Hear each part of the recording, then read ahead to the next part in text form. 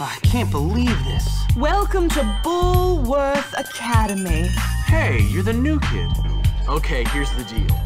Over there, we got the nerds, complete social outcasts. Actually, sneaky bastards.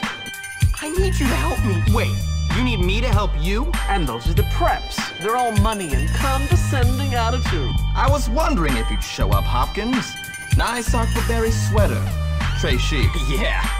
Now over there are the greasers. Wouldn't advise messing with them. At least not yet. And last but not least, the jocks. These guys rule the school. You seem to be making yourself quite comfortable here, my boy. I'm just trying to fit in. Ladies and gentlemen, I give you Femboy. You will have a clean nose, so keep it clean, or we'll clean it for